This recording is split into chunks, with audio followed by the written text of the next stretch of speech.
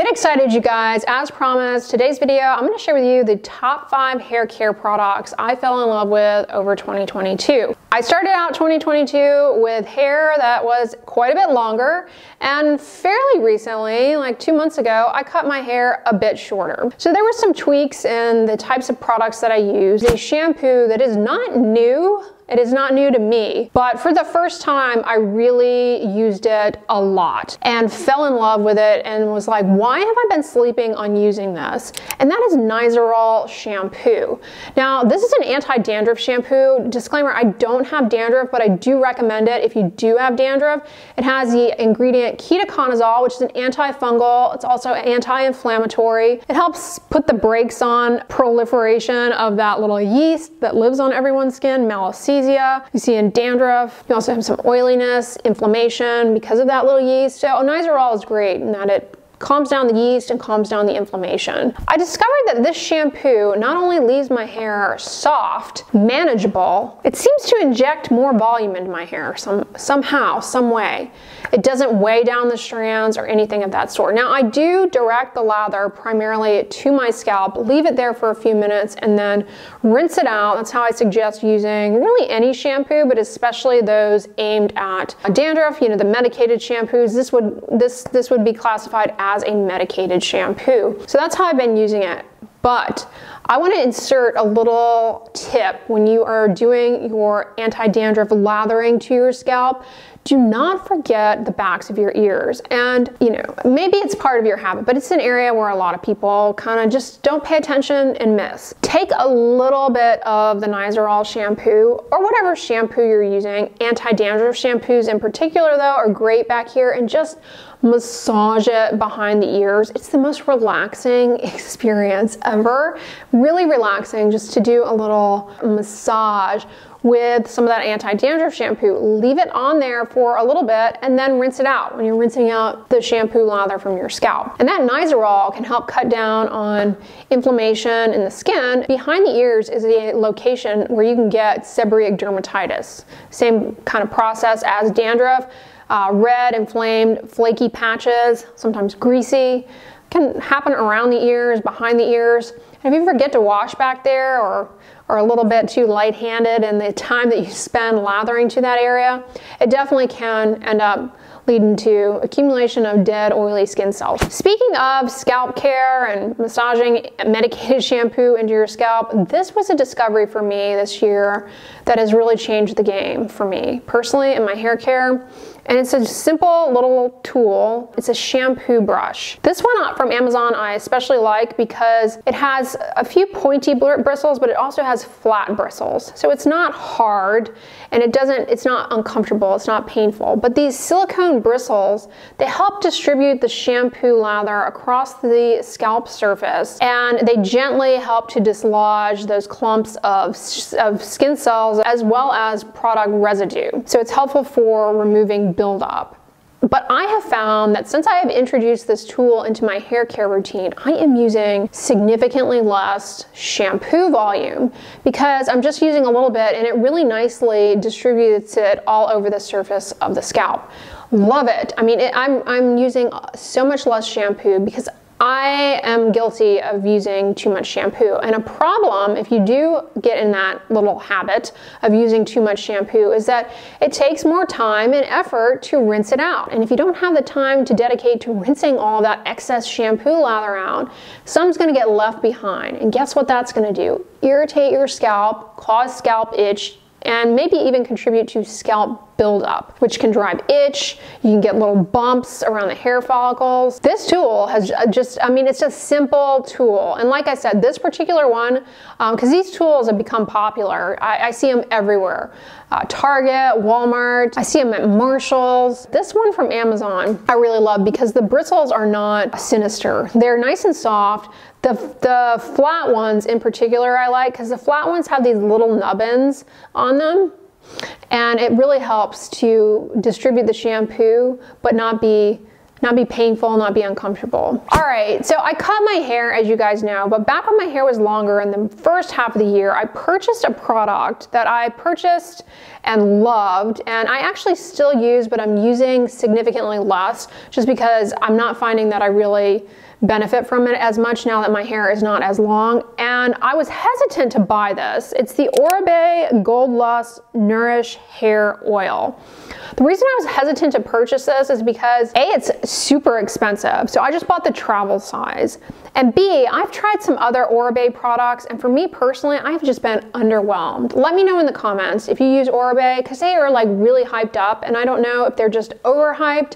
I've used their, I've tried their shampoo, the Gold Lust, specifically the Gold Lust shampoo and conditioner, and I did not like either of those. I just found that for me personally, they turned out to be a Pantene level experience. Overly scented, and really did not leave my hair very manageable whatsoever. Now, as, an, as a side note, I don't have color treated hair, so I don't know. Maybe these are great if you have color treated hair.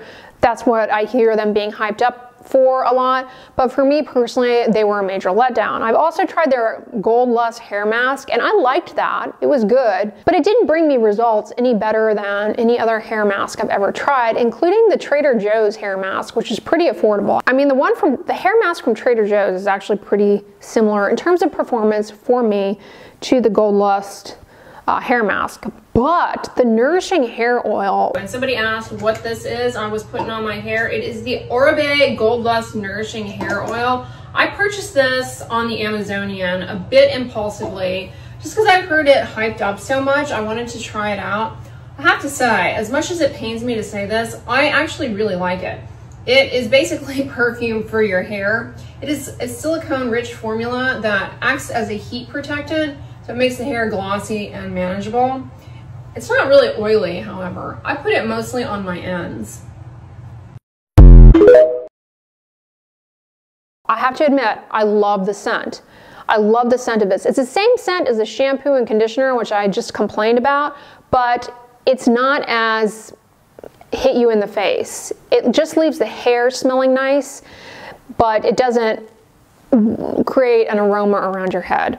It leaves the hair itself smelling nice, but it doesn't create a cloud of, of fragrance all around you that gives you a headache. It leaves the hair very glossy, very manageable. It's expensive, but you only need a small amount. When my hair was longer, I was only using like two or three drops. Take it down the lengths of the hair. I don't put it near the scalp. My hair care routine after I shampoo at night, get out of the shower or whatever, I towel, I use one of those microfiber towels to get the vast majority of the water out of my hair. When I take the microfiber towel off, my hair is still a little bit damp, but not like wet. And that's when I put this product in at that point. Work it to the midsection of my hair all the way down. And then the following morning, my hair is super glossy, super manageable, super shiny, and it smells good. What the heck does this have in it? Argan oil and emollient, which is actually really good for the hair. I have a whole video talking about the benefits of argan oil for the hair.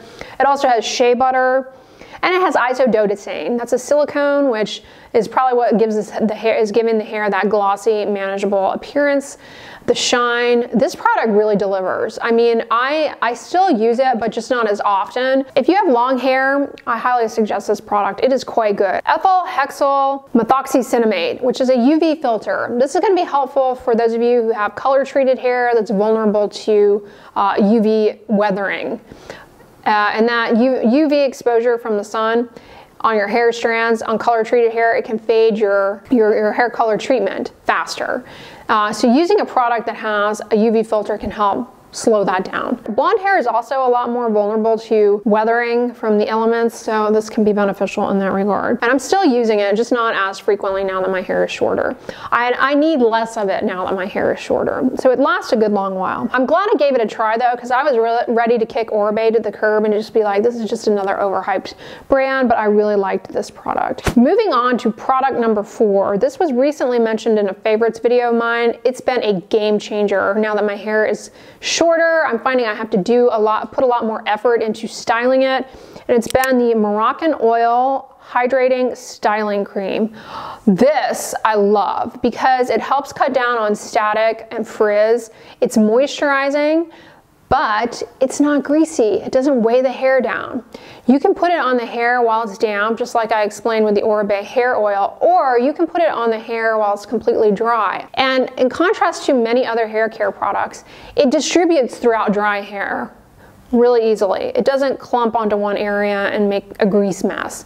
It, it doesn't look greasy and it doesn't leave the hair sticky or tacky. The other thing I like about this is if you put your hair in a ponytail and you want to tame down flyaways but not use like hairspray, this works quite well to smooth the, the hair down, but you don't have to use hairspray that can leave the hair sticky and can sometimes dry out the hair strands too much and contribute to breakage. This works like a dream and this helps cut down on static. I really think the Moroccan oil Hydrating Styling Cream would be a great option for those of you who have wavy hair. I have wavy hair. Uh, it's especially wavy now that it's shorter.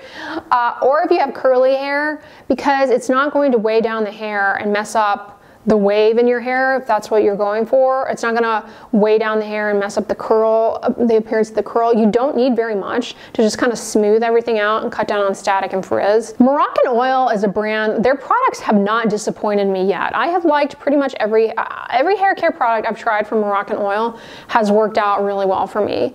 I love their heat protectant spray too, as honorable mention for that. Uh, it's really good. It's the same scent as the um, hydrating styling styling cream but uh, a spray and intended to protect the hair from heat. Speaking of heat, I discovered a tool this year. I was actually kind of apprehensive to introduce it into my routine, but I have been loving it and have not had any negative effects from using it. And that is the Revlon One Step Volumizer with the improved motor. I think they upgraded it or changed it. I have heard a lot of mixed opinions about this tool. I do think if you use this tool to dry your hair, it's too much and it will contribute to breakage and hair damage for sure, I would imagine. I've not used it to dry my hair. I use it just to heat style my hair. Previously, prior to using this, the heat styling I was doing was using a round brush and a blow dryer. This I find is much faster so I end up using less heat to my hair using this tool and it's been working out really well for me. I love the handle, it's really easy to use, it's not heavy. See with the round brush and the blow dryer, it's, it requires some choreography. This is much simpler to use. Like I said, now that my hair is shorter, it's wavier, and because it's wavier, it can take on a life of its own, and it just looks like a disaster. When I wake up in the morning and just makes me look disheveled if I don't put in some effort on certain days in particular. Now this particular tool, it has um, a cool setting. It also has a low, a medium, and a high setting. I have only ever used the cool and the low setting. I don't go above that. The key to reducing heat damage um, from your heat styling, like from the blow dryer or from a tool like this, is to use the lowest setting possible and to always be moving it around. Try to not hold the heat to the hair on one particular location for a prolonged period of time. Try and keep it moving. So I find with this tool, not only do I not have to, you know, wrestle around, it's much faster to use, but I'm able to get what I want, get in and get out very quickly. So for me personally, the way I've been using it, in contrast to what I was doing before, significantly less heat to my hair doing this, and I'm getting the same results, if not better, because I'm better, it, it's easier for me actually to do the back of my hair, the sides, and I've had no negative effects. I haven't experienced hair breakage, um, or anything of that sort. I've actually been looking at my hair strands pretty carefully. I don't know how this might impact color treated hair, which is already more vulnerable to heat damage and breakage. But for me, like I said, I love this tool. I'm so glad I decided to try it. Let us know in the comments though what you have discovered this year in the realm of hair care that you have been enjoying. On the end slide, I'm going to put my last video in the best of 2022 series. So make sure you check that out. I have them all saved in a playlist, but if you guys like this one, give it a thumbs up, share it with your your friends. And as always, don't forget, sunscreen and subscribe. I'll talk to you guys tomorrow. Bye.